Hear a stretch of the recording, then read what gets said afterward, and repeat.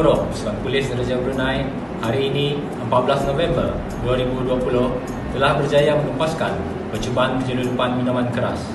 Suspek penduduk tetap berumur 50 tahun cuba untuk membawa barang tegahan tersebut menggunakan kereta dari Temburong menuju ke Bandar Seri Begawan melalui jambatan Sultan Haji Omar Ali Saifuddin dan berjaya ditahan di kilometer 11 menghala daerah Brunei Muara. Sebanyak 720 tin minuman keras berbagai jenis telah dirampas. Kes ini diambil alih oleh Jabatan Custom dan Excise Diraja.